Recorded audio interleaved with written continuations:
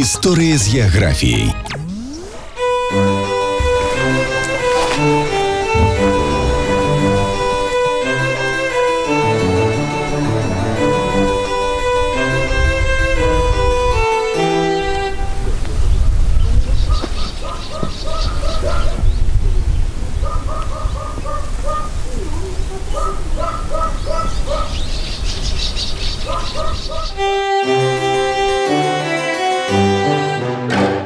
Гісторыя з геаграфіяй.